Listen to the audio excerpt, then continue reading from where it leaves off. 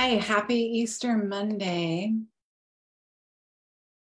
Today we are talking about, it's probably my favorite topic, the three pillars of the staffless practice success system. So I'm watching Facebook here. If you guys have questions, this is live, um, but you might be watching the recording too. And if you are, you can always hit me up with questions. So um, if we don't already know each other, it's nice to meet you. My name is Dr. Jody Dinnerman. I have been in practice for, I can easily say now, 23 years because I just had my practice anniversary. And um, hands down, the hardest thing about practice for me was always how to manage all of the moving pieces, especially a team in the office. And it was difficult. I couldn't figure it out. So I figured out a way to do things differently. Um, uh, by the way, on Monday, I'm sorry, on Wednesday of this week at 12 p.m. Eastern, we are doing an invite only Zoom. If you, um, we're going to meet right here in my Zoom room. We're going to go over the actual how to of the main pieces of the staffless practice success system. If you need an invite to that, just drop the word invite below. Okay, so let's talk about the three pillars and why they matter. And then on Wednesday, we're going to talk about how to implement them. And pillar number one is automate. And um, what we're talking about is what do you put what do you put your foundation of practice on top of? What can hold up the different pieces that you need in place uh, for your practice to move forward in a way that truly floats your boat and that serves your perfect practice member who you want to be serving? So, one, automate. Automate the things that you can automate without dropping the personal connection. How do you do that? How do you get all of the things to Sally at the right time in the right place um, in as automated of a way as possible without making Sally feel like there's just a computer on the other end of a message, whether it's an email or a text or a phone or whatever it is. Automating what needs to be automated in a personalized way is one of the three most important things to creating a practice that's truly going to thrive, especially if you don't have staff running things at the desk. So, in our world here at Staffless Practice, we talk a lot about texting, having a simple texting program. Um, so that you've got one click, you're one click away from getting your people the help that they're looking for, whether it's scheduling or receipts or money questions or whatever, getting their kid in to see you, whatever it is. So that's thing. Thing number one is automation. And really, the key to automation is keeping it simple because what I see happen is so many of us, myself included, we we sign up for these programs that have every bell and whistle when it comes to automation and it's just too much. And it ends up being another program that we pay for month after month that we never use. So automation with simplicity and personal connection okay? Thing number two connection. So connecting with the right people and um, with the right people the right in the right ways to continue your practice forward. So, I actually just had a call with a new doctor. She's so, so sweet. And how do I fill my practice? How do I get people in? It's not working, nothing's working. And my first question to her was who do you want to be serving? Who is your person?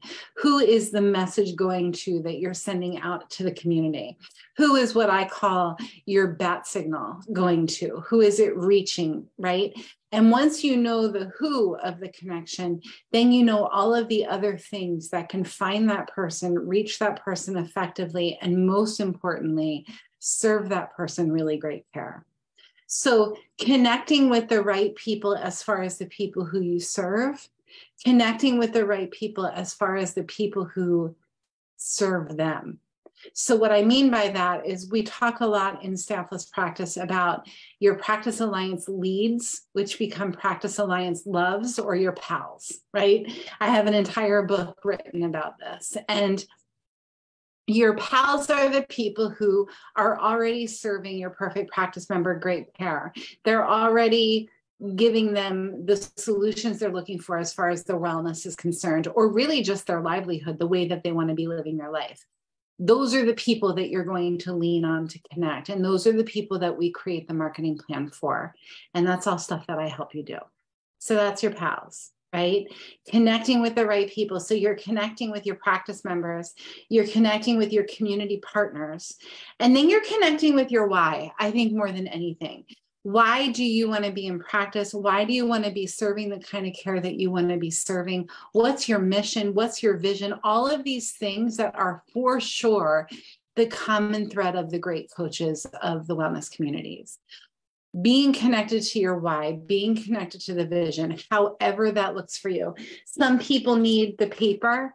Some people want to create a Trello board. Some people need a whiteboard. Everybody connects to their vision in a different way. Some people do a vision board for it. So these are all things that um, are really important options when it comes to connecting with the right people. So automate, connect, and then finally organize. Whew, organize is a big one. Figuring the most important thing with organization is figuring out the system that works best for you. And knowing that you're going to find a system but the system is probably going to change 50,000 times before you've perfected it. And being okay with it changing is really important. Having flexibility holding flexibility around imperative change as your practice grows I just had this conversation this morning with our team lead. Her name is Shelly. She's brilliant. And we talked about we're going through a growth spurt here at Staffless Practice Academy, and we just need to change a few systems to make it work, to pivot for the clients who are coming in so that all of the things we want to help them grow with make sense to their brain.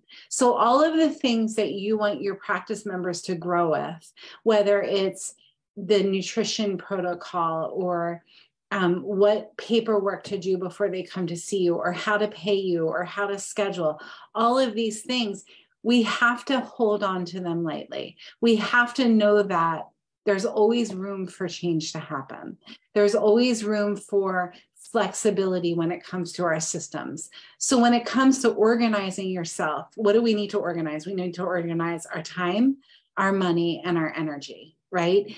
What are the best systems that work for your brain and the way that you think when it comes to organizing these really important components of practice and the thing is that they're different for everybody so the way that i organize my time is probably going to look different than the way that three of you guys organize your time and these are the pieces that we're going to break down. We're going to dissect them on Wednesday um, in the private training. If you want an invite to that, just drop the word invite below. Okay, if you're watching me live, any questions so far? It doesn't look like it. So I want you to just keep in your mind, keep on your heart, automate, connect, and organize. Do these three things, implement these three pillars in your practice in the way that works best for your heart and your mind. And you're going to watch your practice grow. You're going to watch your practice thrive. I can also tell you that if you reverse it, and you say, Why am I so miserable in my practice right now? You can probably look at one of those three pillars and find the reason why. It's probably because either an automation system is not working, or you haven't automated, or you're disorganized, or you're not connecting with the vision or the mission or the right people or figuring out who your perfect practice member is. Okay, I think that's everything I wanted to share today. The point of going live on Mondays is to just drop a piece of information for you to chew on throughout the week. And then over the whole week, I nourish and nurture that idea, that bite, right? And on Wednesday, we're going um, into a private Zoom on this topic, the pillars of the staffless way. If you want an invitation to it, drop the word invite here. Um, and then usually on Thursday, I either give a share or something free to go along with that bite. Okay, I'm loving you guys from here. Go make the world better with great care. And I totally get that you could be doing anything with your time right now. And thank you for listening to me. I hope it was helpful.